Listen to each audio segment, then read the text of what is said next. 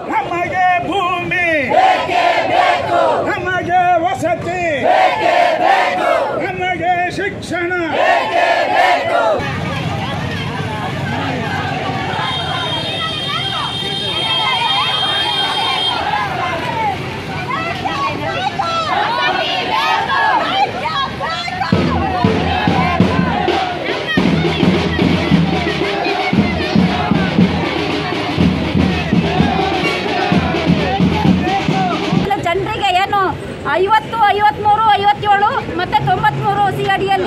ಹಾಕಿರುವಂತ ಯಾವುದೇ ಏನು ದೊಡ್ಡ ದೊಡ್ಡ ಶ್ರೀಮಂತ ಕುಟುಂಬಗಳಿಗೆ ಇದು ಏನು ಉಪಯೋಗ ಆಗಿದೆ ಬಿಟ್ಟರೆ ಸಾಮಾನ್ಯ ಬಡವರು ಇಲ್ಲಿಂದ ಖಾಲಿ ಮನೆಗಳಿಲ್ದನೆ, ಮಠಗಳಿಲ್ದನೆ, ಜಮೀನಿಲ್ದನೆ ಊಟ ಇಲ್ದಾನೆ ನೀರಿಲ್ದನೆ ಬೀದಿಗೆ ಹೋಗುವಂತ ಪರಿಸ್ಥಿತಿ ತಂದಿಟ್ಟಿದೆ ಸರ್ಕಾರ. Form fifty fifty, three fifty ಸೆವೆನಲ್ಲಿ ಇವತ್ತು ಬಡವರೊಂದು ಕಡೆ ಭೂಮಿ ಇಲ್ಲ ಅಂತ ಕೊಟ್ಟಿದ್ರೆ ಶ್ರೀಮಂತರು ತಮ್ಮ ಕಾಳಾಳುಗಳ ಕಡೆಯಿಂದ form fifty fifty three fifty ಸೆವೆನನ್ನು ಕೊಡಿಸಿ ಅಲ್ಲಿ ದುಡ್ಡು ಕೊಟ್ಟು ಹಕ್ಕುಪತ್ರವನ್ನು ಈಗಾಗಲೇ ಭಾಳಷ್ಟು ಜನ ಪಡ್ಕೊಂಡಿದ್ದಾರೆ. ಆದರೆ ಬಡವರು ತಮಗೆ ಭೂಮಿ ಇಲ್ಲದೆ ಇರುವಂಥ ಬಡವರು ಇವತ್ತು ಹಕ್ಕುಪತ್ರವನ್ನು ಕೊಟ್ಟು ಜಾತಕ ಪಕ್ಷಿ ಅಂತ ಕಾದರೂ ಕೂಡ ಯಾವುದೇ ಜಿಲ್ಲಾಡಳಿತ ಆಗಲಿ ತಾಲೂಕು ಆಡಳಿತ ಆಗಲಿ, ಸರ್ಕಾರ ಆಗಲಿ ಜನರಿಗೆ ಯಾವುದೇ ರೀತಿಯ ಭೂಮಿ ವ್ಯವಸ್ಥೆಯನ್ನು ಕೊಡೋದಿಲ್ಲ, ಕೊಟ್ಟಿಲ್ಲ. ಕಾಡನ್ನು ಉಳಿಸಿಕೊಂಡು, ಕಾಡನ್ನು ಬೆಳೆಸಿಕೊಂಡು ತಮ್ಮ ಜೀವನೋಪಾಯಕ್ಕಾಗಿ ಕೃಷಿ ಮಾಡ್ಕೊಂಡು ಬರ್ತಿದ್ದಾರೋ ಇವತ್ತು ಅವರೇ ಕಾಡು ನಾಶ ಮಾಡ್ತಿದ್ದಾರೆ ಪರಿಸರ ಹಾಳು ಮಾಡ್ತಿದ್ದಾರೆ ಅಂತ ಆರೋಪವನ್ನು ಅವರ ಮೇಲೆ ಮಾಡ್ತಿದ್ದಾರೆ. ಬೆಂಗಳೂರು ನಗರದಲ್ಲಿ ಕೂತ್ಕೊಂಡು ಸಂಪೂರ್ಣವಾಗಿ ಅಲ್ಲಿಯ ಇದನ್ನು ವಾತಾವರಣ ಕೊಲಿಗಡಿಸಿ ಅಲ್ಲಿ ಪರಿಸರ ವಿರೋಧಿ ಕೆಲಸವನ್ನು ಮಾಡಿ ಅಂಥವರು ಹೈಕೋರ್ಟಿಗೆ ಒಂದು ಅರ್ಜಿ ಹಾಕಿ ಮಲೆನಾಡಲ್ಲಿ ಕಾಶ್ ಕಾಡು ನಾಶ ಆಗ್ತಿದೆ ಅಂತ ಹೇಳ್ಕೊಂಡು ಅವರು ಒಂದು ಹಾಕಿದ ಅರ್ಜಿಯ ಮೇರೆಗೆ ಇವತ್ತು ಮನ್ನಿತ್ಲಾಗಿ ಹೈಕೋರ್ಟ್ ಒಂದು ಆದೇಶ ನೀಡುತ್ತೆ. ನಿಮಗೆ ಈಗ ಕಾನೂನು ಸರ್ಕಾರ ಮಾಡ್ತಿರುತ್ತೆ. ಫಿಫ್ಟಿ ಸಲ್ಲಿಸಿ ಅಕ್ರಮ ಮೊದಲು ದತ್ತಾಸ ಇದ್ದಿತ್ತು ಅರ್ಜಿ ಸಲ್ಲಿಸಿ ಭೂಮಿಯನ್ನು ಸ್ವಂತ ಮಾಡ್ಕೊಳ್ಳಿ ಇದಿತ್ತು ನಂತರದಲ್ಲಿ ಅಕ್ರಮ ಸಕ್ರಮ ಕಾಯ್ತಂತು ಫಿಫ್ಟಿ ಅರ್ಜಿ ಸಲ್ಲಿಸಿ ಹೇಳಿದ್ರು, ಫಿಫ್ಟಿ ತ್ರೀ ಅರ್ಜಿ ಸಲ್ಲಿಸಿ ಹೇಳಿದರು, ಫಿಫ್ಟಿ ಸೆವೆನ್ ಅರ್ಜಿ ಹೇಳಿದರು, ನೈಂಟಿ ಫೋರ್ ಸಿ ಅರ್ಜಿ ಸಲ್ಲಿಸಿ ಹೇಳಿದರು.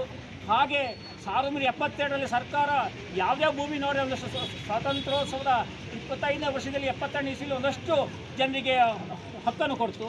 ಇತ್ತೀಚೆಗೆ ಆದಿವಾಸಿಗಳು ಮತ್ತು ಪಾರಂಪರಿಕ ಅನ್ಯವಾಸಿಗಳು ಇದರಲ್ಲಿ ಒಂದಷ್ಟು ಜನರಿಗೆ ಹಕ್ಕುಪತ್ರ ಕೊಡ್ತು. ಅದು ಕೂಡ ಇನ್ನು ಪೂರ್ತಿ ಆಗಿಲ್ಲ. ಆದರೆ ಈಗ ಹೇಳ್ತಿದೆ ಕೋರ್ಟು. ಅಂದರೆ ಕೋರ್ಟ್ ಹೇಳೋದು ಅಂತ ಹೇಳಿದ್ರೆ ನಮ್ಮ ಈ ಆಳುವ ನಮ್ಮ ರಾಜಕಾರಣಿಗಳು ನಮ್ಮ ಸರ್ಕಾರ ಇದೆಯಲ್ಲ, ಇವರಲ್ಲಿ ಯಾವುದೇ ಸರಿಯಾದ ನಿಯತ್ತು ಅಥವಾ ಒಂದು ಮಾರ್ಗದರ್ಶನ ಅವ್ರಿಗೆ ಇಲ್ಲ ಇರೋದ್ರಿಂದ ಇವತ್ತು ಕೋರ್ಟ್ ಹಾಕಿ ಹೇಳ್ತಿದೆ. ಅಥವಾ ಇವರು ಕೋರ್ಟ್ ಮೂಲಕ ಹೇಳ್ತಿದ್ದಾರೆ ಯಾಕಂದ್ರೆ ಸರ್ಕಾರ ಹೇಳಿ ಗಲಾಟೆ ಆಗುತ್ತೆ?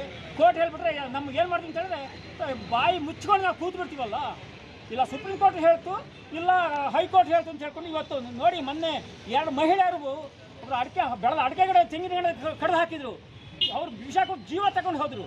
ಆ ತಕ್ಷಣ ಇವರೆಲ್ಲ ನಮ್ಮ ರಾಜಕೀಯ ಮುಖಂಡರು ಇವರು ಕಾಗೇರಿ ಅವರ ಅಧ್ಯಕ್ಷ ಅವರು ಇರ್ಬೋದು. ಅರ್ಜಿ ಹಾಕ್ತವರಿಗೆ ಅದು ಮರಣ ಶಾಸನ ಆಗಿ ಬದಲಾಗ್ತಿದೆ.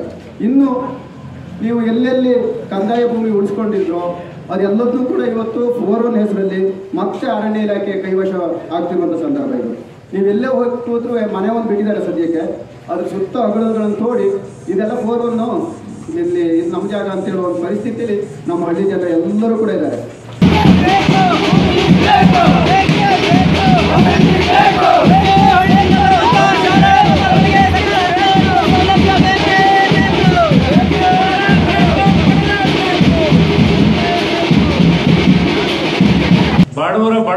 ಬಿಟ್ಟು ನಮಗೆ ಸ್ವತಂತ್ರ ತಂದು ಕೊಟ್ಟ ಅರ್ಥ ಏನು ಹಾಗಾದ್ರೆ? ಬ್ರಿಟಿಷ್ನವರು ನಮ್ಮನ್ನ ಶೋಷಣೆ ಮಾಡ್ತಾರೆ. ಬಡವರು ಶ್ರೀಮಂತರ ಅಂತರ ಜಾಸ್ತಿ ಆಗುತ್ತೆ ಅಂತ ಹೇಳ್ತಾನೆ ನಮಗೆ ನಾವು ಸ್ವಾತಂತ್ರ್ಯ ಪಡ್ಕೊಂಡಿದ್ದು. ಸ್ವಾತಂತ್ರ್ಯ ನಮಗೇನು ಪುಕ್ಷಟೆ ಬರಲಿಲ್ಲ. ಲಕ್ಷಾಂತರ ಜನ ತ್ಯಾಗ, ಲಕ್ಷಾಂತರ ಜನ ತ್ಯಾಗ ಬಲಿದಾನದಿಂದ ರಕ್ತ ಹರಿಸಿ ಚಳುವಳಿ ಮಾಡಿ ನಾವು ಸ್ವಾತಂತ್ರ್ಯವನ್ನು ಪಡೆದವು. ಸ್ವಾತಂತ್ರ್ಯ ತಂದುಕೊಟ್ಟರು ಯಾರು? ಇವತ್ತು ಅಧಿಕಾರ ಅನುಭವಿಸ್ತಾ ಇರ್ತಕ್ಕಂಥವ್ರು ಯಾರೋ? ಸ್ವಾತಂತ್ರ್ಯ ನಿಜವಾಗ್ಲೂ ನಮಗೆ ಸಿಕ್ಕಿದೆ ಅಂತ ನಾವು ಇವತ್ತು ಪ್ರಶ್ನೆ ಮಾಡ್ಕೊಳ್ಬೇಕಾಗಿದೆ. ಯಾರೇ ಸಿಕ್ಕಿದೆ ಸ್ವಾತಂತ್ರ್ಯ? ನಮಗಂತೂ ಸಿಕ್ಕಿಲ್ಲ, ಹಳ್ಳಿಯವರಿಗಂತೂ ಸಿಕ್ಕಿಲ್ಲ, ಬಡವರಿಗಂತೂ ಸಿಕ್ಕಿಲ್ಲ, ರೈತರಿಗಂತೂ ಸಿಕ್ಕಿಲ್ಲ, ದಲಿತರಿಗಂತೂ ಸಿಕ್ಕಿಲ್ಲ, ಅಲ್ಪಸಂಖ್ಯಾತರಿಗಂತೂ ಇವತ್ತು ಸ್ವಾತಂತ್ರ್ಯ ಸಿಕ್ಕಿಲ್ಲ. ಯಾರೇ ಸಿಕ್ಕಿದೆ ಸ್ವಾತಂತ್ರ್ಯ? ಅದಕ್ಕೋಸ್ಕರನೇ ಎರಡನೇ ಸ್ವಾತಂತ್ರ್ಯ ಹೋರಾಟವನ್ನು ಪ್ರಾರಂಭ ಮಾಡಬೇಕು.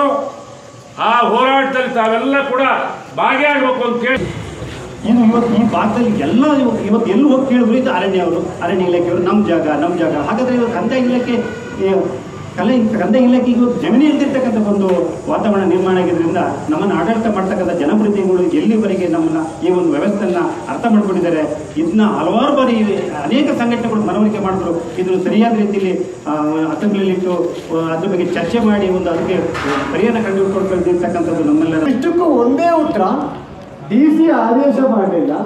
ಹಾಗಾಗಿ ಪೆಂಡಿಂಗ್ ಇದ್ದೀವಿ ಅಂತ ಅವ್ರು ಹೇಳ್ತಾ ಇದ್ದಾರೆ. ಅದೇ ಉತ್ತರ. ಡಿ ಸಿ ಆದೇಶ ಮಾಡಿದರೆ ಪೆಂಡಿಂಗ್ ಇದ್ದೀನಿ ಡಿ ಸಿ ಆದೇಶ ಮಾಡಲಿಲ್ಲ, ಪೆಂಡಿಂಗ್ ಇದ್ದೀವಿ ತೊಂಬತ್ತು ಸುಳ್ಳು ಹೇಳಿ ಅದ್ರಲ್ಲೆಲ್ಲರೂ ಹತ್ತು ಅನ್ನೋ ಪ್ರಯತ್ನ ಆಗಲ್ಲ ನೋಡಿ, ಇವತ್ತು ಈ ದೇಶದ ವಿಪರ್ಯಾಸ ಹೆಂಗಾದೆ ಅಂದರೆ ಶೃಂಗೇರಿ ಭಾಗದಲ್ಲಿ ಸುಮಾರು ಐವತ್ತು, ಎರಡು ಜನ ಐವತ್ತ ಎರಡು ಜನ ಈಗಾಗಲೇ ಫಾರೆಸ್ಟ್ ಇಲಾಖೆ ಕೇಸ್ ಹಾಕಿದೆ. ಅದು ಸುಮ್ಮನೆ ಕೇಸ್ ಅಲ್ಲ ಮೂಕ ಕಬಳಿಕೆ ಕೇಸು. ಅದು ಯಾಕೆ ಹಾಕ್ತಾರೆ ಅಂತಂದರೆ ಅವರನ್ನು ಹೊಸಪತ್ರ ಕೊಟ್ಟರು ಅರಣ್ಯ ಒಪಿನಿಯನ್ ತಗೊಂಡಂತ ಪ್ರಕರಣಗಳಿಗೆ ಕೂಡ ಇವತ್ತು ಕೇಸ್ ಹಾಕಿದೆ. ನೀವೇನಾದರೂ ಅದಕ್ಕೆ ಜಾಮೀನು ತಗೊಂಡೆ ಹೋದರೆ ಅದು ಕ್ರಿಮಿನಲ್ ಕೇಸ್ ಕೇಸ್ ಬಿದ್ದೋದ್ರೆ ಅವ್ರು ಬೇರೆ ಹೋಗ್ಬೇಕಾಗ್ತದೆ. ಅದು ಶೃಂಗೇರಿಗೆ ಮಾತ್ರ ಸೀಮಿತ ಆಗಲ್ಲ. ಅದಕ್ಕೆ ಎಲ್ಲ ಕಡೆ ಕೂಡ ಹಾಕಂತ ತಯಾರು ನಡೀತದೆ.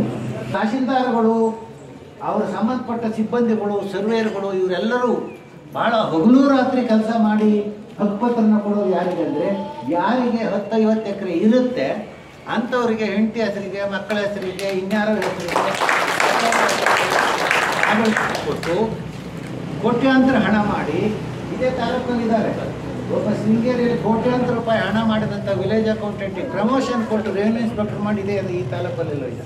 ಭೂಮಿ ಮತ್ತು ವಸತಿ ಸಮಸ್ಯೆ ಏನಿದೆ ಇದನ್ನ ತಮ್ಮ ತಮ್ಮ ವ್ಯಾಪ್ತಿಯಲ್ಲೂ ನಾವು ಅಸಾಧ್ಯವಾದ ಆದರ್ಶವನ್ನ ನಾನು ಹೇಳ್ತಾ ಇಲ್ಲ ನಾವೇನೋ ನಮ್ಮ ಸೂರ್ಯಚಂದ್ರ ಕೊಡಿ ಅಂತ ನಾವು ಹೇಳ್ತೇವೆ ತಮ್ಮ ಕೈಯಲ್ಲಿ ತಮ್ಮ ವ್ಯಾಪ್ತಿಯಲ್ಲಿ ಬರುವಂತ ಬಂದಿದ್ದೀರಿ ಏನೆಲ್ಲ ಬಗೆಹರಿಸಬಹುದು ಅದನ್ನ ದಯವಿಟ್ಟು ಬಗೆಹರಿಸುವಂತ ಭರವಸೆ ಖಚಿತವಾದ ಭರವಸೆ ನಾವು ಕೊಡಬೇಕು ಇದೇ ಸಮಸ್ಯೆ ಹಾಕಿದ್ರು ದಯವಿಟ್ಟು ಬಡವ ಸಾವನ್ನ ಸಾವಿರ ಮೂಲಕ ಸಂಭ್ರಮ ಪಡ್ಕೊಳ್ಬೇಡಿ ಒಂದು ಆ ಶಾಪಲ್ಲಿ ನಿಮ್ಮ ಕಟ್ಟುಗಳನ್ನು ಕಂಡುಹಿಡ್ತೀನಿ ನಿಮ್ಮಲ್ಲಿ ಎಷ್ಟು ಪೆಂಡಿಂಗ್ ಇದಾವೆ ಬಾಕಿದಾವೆ ಪ್ರಕರಣಗಳು. ಒಂದು ದುಡ್ಡು ಇರ್ಬೋದು ಸೆಕ್ಷನ್ ಫಿಫ್ಟಿ ಸೆವೆನ್ ಇರ್ಬೋದು ಅಥವಾ ಹಿಂದೆ ದರಖಾಸ್ತು ಸಮಿತಿಯಲ್ಲಿ ಭೂ ಮಂಜೂರು ಸಮಿತಿಯಲ್ಲಿ ಮಂಜೂರಾಗಿರ್ತಕ್ಕಂಥ ಒಪ್ಪಿಗೆ ಪ್ರಕರಣಗಳನ್ನು ಅರಣ್ಯ ಇಲಾಖೆ ಸೇರುತ್ತೆ